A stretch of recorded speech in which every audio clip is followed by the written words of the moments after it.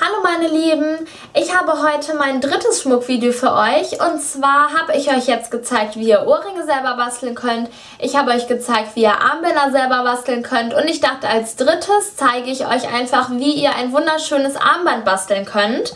Und da habe ich mich für so ein schönes Perlenarmband entschieden. Das könnt ihr natürlich... Ähm, also ihr könnt da natürlich variieren in den Perlen, die ihr benutzt oder was auch immer ihr da aufhädeln möchtet.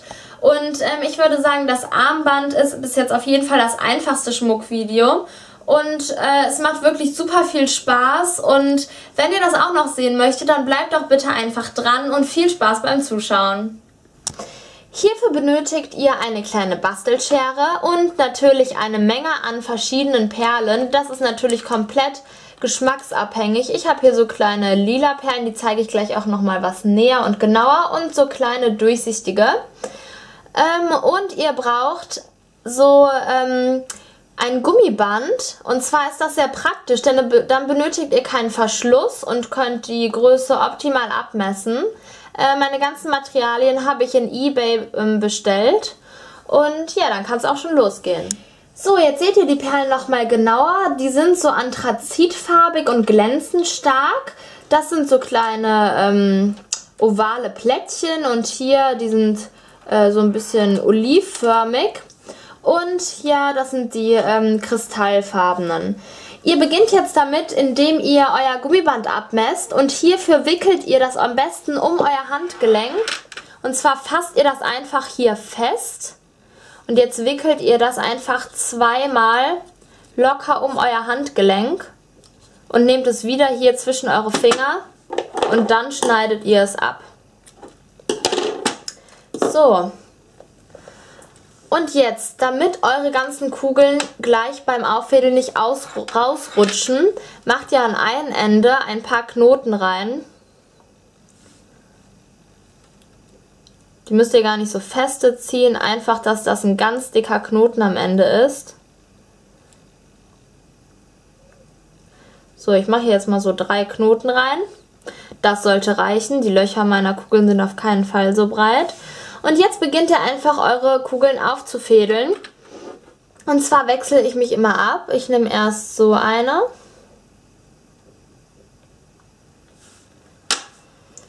Dann kommt eine kristallfarbene Perle. Und jetzt kommt hier so eine platte Perle.